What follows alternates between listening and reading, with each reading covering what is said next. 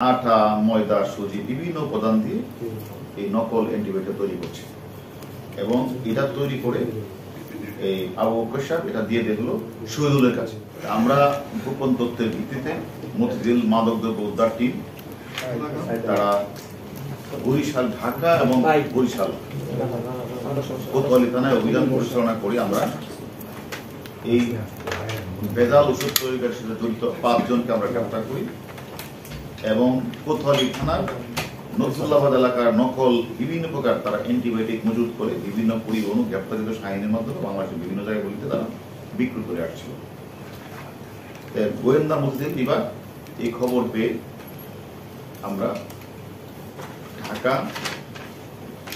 মতিঝিলে এবং কোতোয়ালি থানায় বরিশাল আমরা অভিযান পরিচালনা করে প্রায় মানে এগারো হাজার তিনশো পঞ্চাশ অর্থাৎ চার লক্ষ ছিয়ানব্বই হাজার তিনশো পিস নকল অ্যান্টিবায়োটিক আমরা জব্দ করি। এবং এই নকল অ্যান্টিবায়োটিকটা তারা মানে যে আমরা যাকে গ্রেপ্তার করেছি, হুমায়ুন অর্থাৎ রাজিজ অপশন কোম্পানির বিক্রি করে চাকরি করায় তারা বিভিন্ন ফার্মে বিক্রি করে। আর এই উদ্ধারকৃত যে নকল অ্যান্টিবায়োটিকগুলি, সেগুলি কুমিল্লার আবু অক্কর তার একটা কারখানা আছে। এই কারখানা এবং বরি- আহ, একটি কারখানা সেই কারখানাগুলি তারা মানে আটা ময়দা সুজি বিভিন্ন উপাদান দিয়ে এই নকল অ্যান্টিবায়োটিক তৈরি করছে। এবং এটা তৈরি করে এই আবু বকর সাহেব এটা দিয়ে দেখল শহীদুলের কাছে।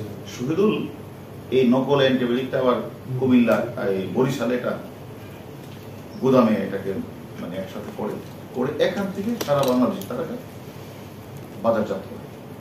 এবং তারা এই যে নকল ওষুধ এটা নকল অ্যান্টিবায়োটিক এগুলি তারা তাদের একটা চক্র শাহিন শহীদুল হৃদয় হুমায়ুন এরা মিলে সারা বাংলাদেশে বিভিন্ন ফার্মাসিগুলিতে তারা এগুলি এবং কিছু কম ওষুধ আছে যেমন ফার্মাসিউটিক্যাল আছে যেগুলি এখন বিলুপ্ত নাই।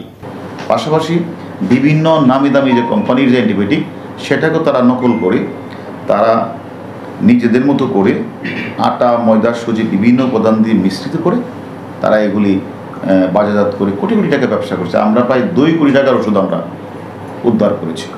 তারা এর আগেও অন্তর শত শত মানে মানে কয়েক কোটি টাকা তারা অলরেডি আগে বিক্রিও করেছে।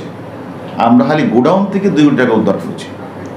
এবং এই প্রতারক চক্রটা এর আগেও বিভিন্ন জায়গাগুলিতে তারা ওষুধ বানিয়ে এগুলি বিক্রি করছে এবং আমরা তাদেরকে ধরার পরে তারা এগুলি সবাই, যে পাঁচজনকে ধরে সবাই স্বীকার করেছে। আর যারা এই উৎপাদনটা করে, তাদেরও আমরা করছি এবং আমরা কিন্তু প্রায়শই তাদের বিরুদ্ধে অভিযান পড়েছে তারা আট থেকে দশ বছর যাবৎ কিন্তু এই ভেজাল অ্যান্টিবায়োটিক ওষুধটা তারা তৈরি করে আসছে।